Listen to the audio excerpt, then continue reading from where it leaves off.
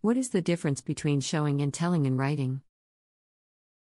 Showing and telling are two different approaches to conveying information in writing. Telling is when the writer simply states information, without providing any description or detail. This can be useful for conveying information quickly, but can be boring and disengaging for the reader. Showing, on the other hand, is when the writer uses description, dialogue, and action to convey information in a more immersive and engaging way. By showing rather than telling, the writer can create a more vivid and memorable reading experience. One way to illustrate the difference between showing and telling is to consider an example.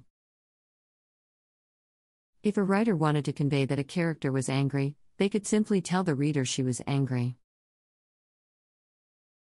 However, this approach is not very engaging for the reader. Instead, the writer could show the character's anger through her actions and dialogue, such as having her slam a door or raise her voice. By showing the character's anger, the writer creates a more immersive and engaging reading experience that draws the reader into the story. Overall, showing and telling are two different approaches to writing that can have a significant impact on the reader's experience. And it is important for writers to understand when to use each approach effectively. Thank you for watching this motivational minute for authors. Find more at www.authorbarbarahoward.com.